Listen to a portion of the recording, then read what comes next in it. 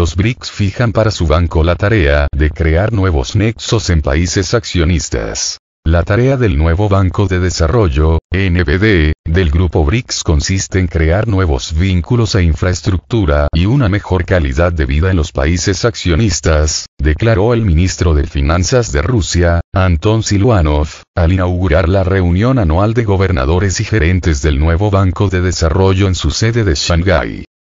La tarea de los BRICS consiste en unir, no en dividir. Cuando el grupo tomó la decisión de instituir el nuevo Banco de Desarrollo, perseguía el objetivo de crear una institución de los países en desarrollo y para los países en desarrollo, de tener un instrumento adicional de apoyo a la agenda de desarrollo común. Hoy día la tarea del banco consiste en crear nuevos vínculos, nueva infraestructura y nueva calidad de vida en los países accionistas, dijo citado en el canal de Telegram de su ministerio. Según Siluanov, el nuevo Banco de Desarrollo debe dedicar una especial atención a contribuir a la transferencia de tecnologías y la promoción de innovaciones, a solucionar problemas de la seguridad alimentaria y energética, a desarrollar la infraestructura y crear un potencial de desarrollo. Es importante que el nuevo Banco de Desarrollo siga abierto para admitir a nuevos accionistas que compartan nuestra agenda de desarrollo y también para cooperar con todas las organizaciones internacionales, agregó. El nuevo Banco de Desarrollo fue instituido por los países BRICS en 2014 para financiar los proyectos de infraestructura y desarrollo sostenido tanto de los miembros del grupo como de otros países en desarrollo. El nuevo Banco de Desarrollo empezó a funcionar oficialmente en Shanghái el 21 de julio de 2015. Al grupo BRICS, Brasil, Rusia, India, China y Sudáfrica, planean unirse otros países, en particular, Argentina, Argelia e Irán, así como Indonesia, Turquía, Arabia Saudí y Egipto.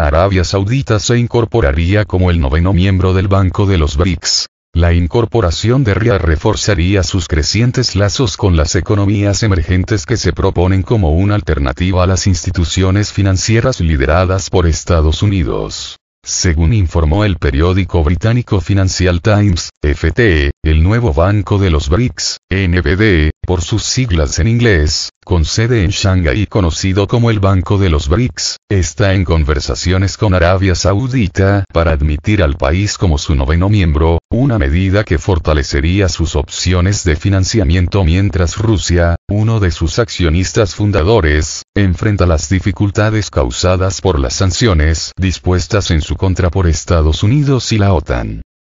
La incorporación del reino reforzaría los lazos entre el banco, que fue establecido por las economías emergentes más grandes del mundo como una alternativa a las instituciones de Bretton Woods lideradas por Occidente, y el segundo mayor productor de petróleo del mundo.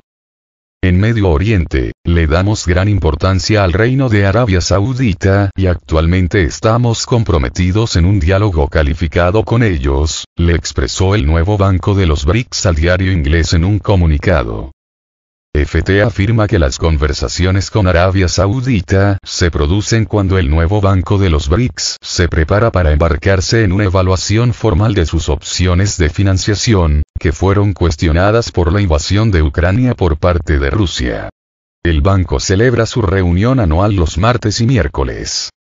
La participación de Riad en el Banco de los BRICS se produciría en un momento en que también estrecha sus vínculos con Beijing.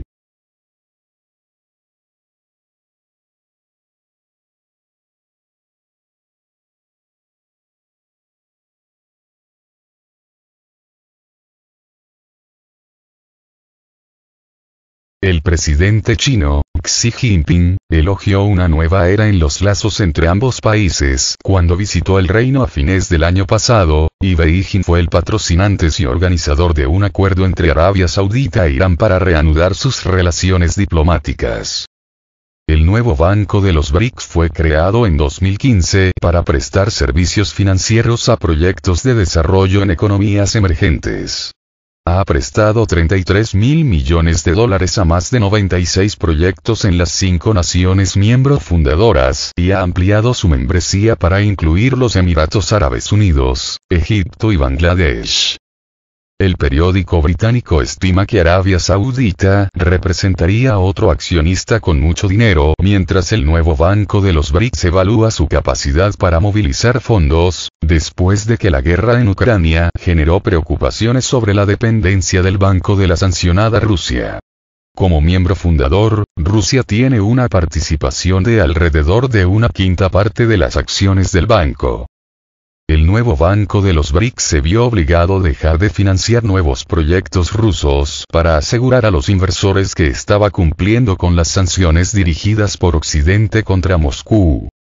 Las opciones de recaudación de fondos son lo más importante en este momento, dijo Ashwani Mutogo, director general de la Oficina de Evaluación Independiente del nuevo Banco de los BRICS, que se estableció el año pasado. Estamos luchando para movilizar recursos, dijo en una entrevista. Mutogo, quien se negó a comentar sobre las conversaciones con Arabia Saudita, dijo que la Junta quería examinar instrumentos y monedas alternativos para atraer recursos. El nuevo banco de los BRICS ha recaudado fondos de China en renminbi y buscaba recaudar randes sudafricanos este año. Moscú ha dicho que ve al banco como un instrumento para ayudar a aliviar el impacto de las sanciones occidentales y alejarse de las ventas de petróleo vinculadas al dólar. El primer ministro de Rusia, Mikhail Mishustin, dijo en una visita a China esta semana que Moscú vio uno de los principales objetivos del banco como defender al bloque de sanciones ilegítimas del occidente colectivo. El Banco Asiático de Inversión en Infraestructura, AI, otro prestamista multilateral en el que China es el mayor accionista también congeló su negocio en Rusia el año pasado, aunque tenía mucha menos exposición.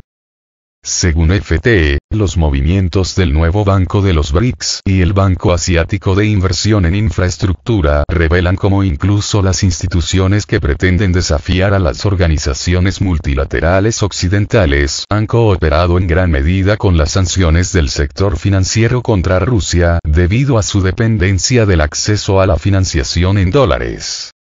La agencia calificadora Fitch rebajó la calificación crediticia del nuevo banco de los BRICS a AA desde AA en julio pasado, advirtiendo que el riesgo reputacional de su participación en Rusia podría limitar el acceso al mercado de bonos en dólares. Este mes, la agencia revisó su perspectiva para el banco de negativa a estable, destacando los pasos que había tomado para mitigar su exposición a Moscú.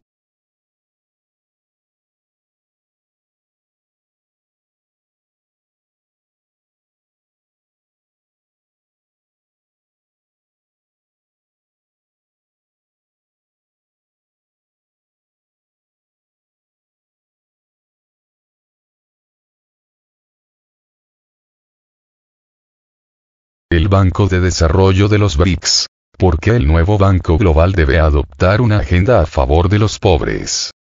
Los líderes de los cinco países conocidos como BRICS, Brasil, Rusia, India, China y Sudáfrica, se reunirán en Fortaleza, Brasil, este mes de julio para mantener su séptima ronda de negociaciones.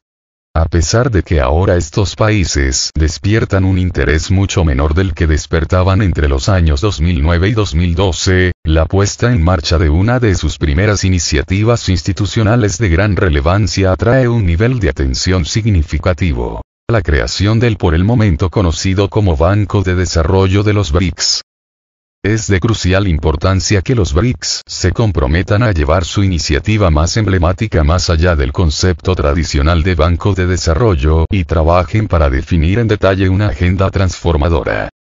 Así, entre las principales recomendaciones de Oxfam para el Banco de Desarrollo de los BRICS se incluyen el nuevo banco permite a los BRICS demostrar su liderazgo en la agenda en pro del desarrollo sostenible.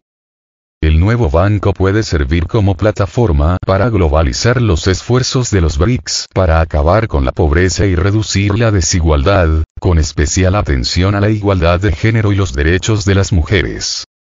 Los países BRICS deben contar con políticas de cooperación internacional explícitas, basadas en los debates públicos y respaldadas por una sólida capacidad institucional. El nuevo Banco de Desarrollo debe adoptar una estructura de gobierno democrática. El Banco de Desarrollo de los BRICS debe asegurar ciertas salvaguardias medioambientales y sociales y establecer mecanismos de información, rendición de cuentas y rectificación.